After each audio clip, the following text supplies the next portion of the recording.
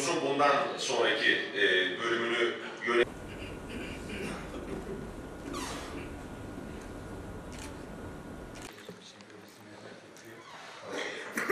Sayın Başkan.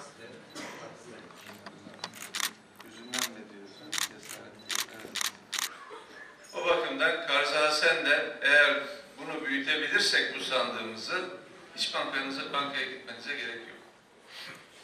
Anda bizim mevcutta geçen sene itibariyle 1 milyon 200 bin liralık bir kısmını üyelerimize kullandırdık. Ne yaptık? Hiçbir şey almadık. 2019 için şöyle söyledim. İlk 3 ay bu bakımdan biraz sıkıntılı geçecek. Çünkü aynı zamanda mevsim itibariyle genelde hizmet sektörünün yavaş olduğu bir dön- dönem. E, artış devam edeceğini düşünüyoruz. E, çünkü geçen yıl 168.1 milyar dolar bir ihracatımız oldu. İthalatta yine bir miktar duranlık devam edecek ama biz daha fazla üreterek e, ve aynı zamanda maliyetlerimizi de aşağı düşürecek şekilde çalışarak tasarruf ederek bu işin üstesinden geleceğimizi özellikle ikinci yarıdan sonra.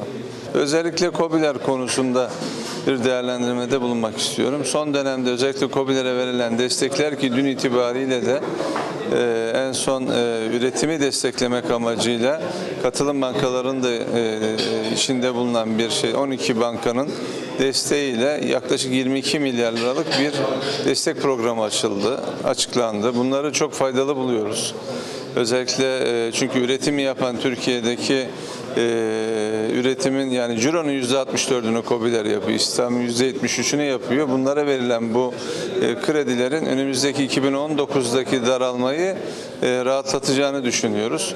E, Türkiye e, için herhangi bir müsiyat olarak, müsiyat, büyük bir sivil toplum kuruluşunun başkanı olarak söylüyorum. Önümüzdeki süreçte belki ilk 3 ayda istediğimiz şeyler olmayacak ama açıklanan yeni ekonomik programa uygun şekilde Türkiye sağlam adımlarla hareket ediyor. İş dünyası olarak bizim söylemimiz şu karamsar olmayacağız. Daha fazla çalışacağız. Daha çok mücadele edeceğiz. Çünkü bu sadece Türkiye'ye yönelik bir şey değildir. Ama şunu unutmayalım. 2018'in özellikle ikinci yarısında yapılan Türkiye'ye karşı saldırı biliyorsunuz e, döviz üzerinden oldu faiz üzerinden oldu bir de enflasyon üzerinden oldu. Bu 2008'e göre çok daha büyük bir saldırıdır.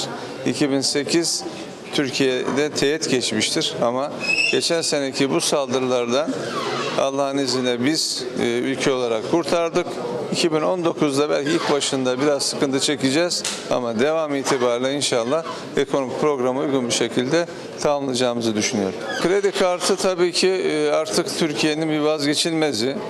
Ee, Burada tabii eski eskilerin bir atasözü var ayağını yorganına göre uzat diye ama bunu unutmuşuz biraz bir miktar.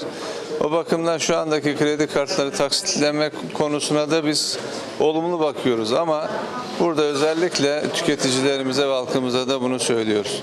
Eğer devletten şikayet ediyoruzsak kendimiz de ayağımızı yorganına göre uzatmak durumundayız.